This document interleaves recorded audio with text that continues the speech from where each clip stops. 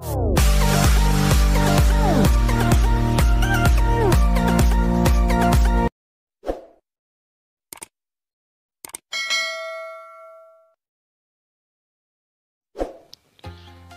anak ayam menetas, ada tips dan trik agar anak ayam tumbuh dengan cepat dan sehat, sesuai harapan.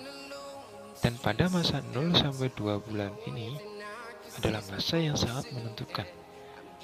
Jika pada masa ini pertumbuhannya terhambat, maka hasil akhir pada usia ayam dewasa akan cukup mengecewakan dan rentan terhadap penyakit.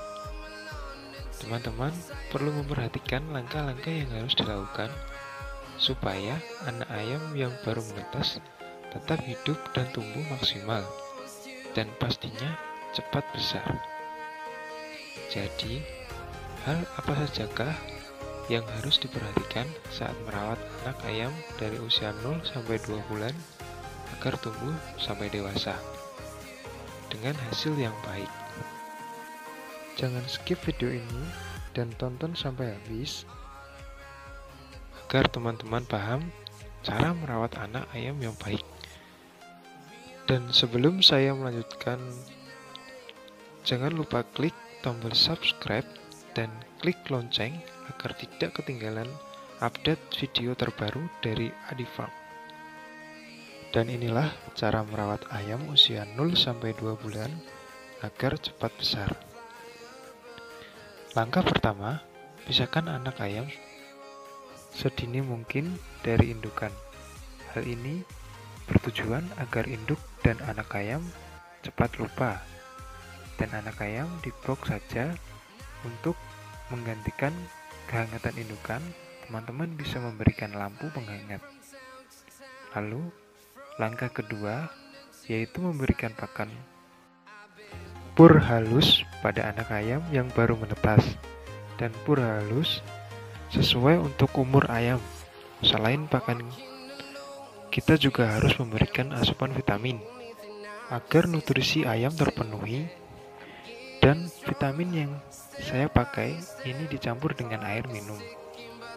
Anak ayam usia 0 sampai 2 bulan cukup diberikan pakan pur 511 dan pemberian pakan ayam diberikan dengan kondisi kering agar kandang ayam tidak lembab dan ayam tidak mudah terjangkit penyakit. Anak ayam sesekali bisa dijemur di saat pagi hari pada waktu sekitar jam 8 sampai jam 9 agar ayam mendapat vitamin D yang sangat bagus untuk pertumbuhan anakan ayam.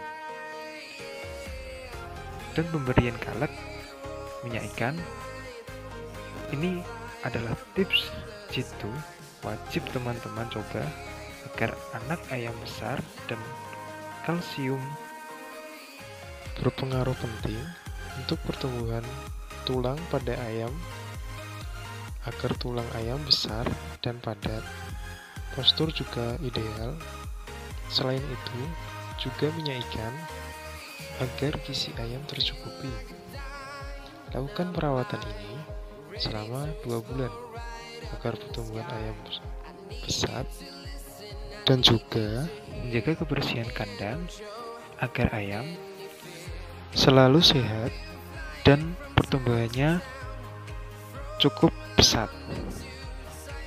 Oke, semoga informasi ini bermanfaat untuk teman-teman semuanya. Dan jangan lupa untuk subscribe ke channel Adifram.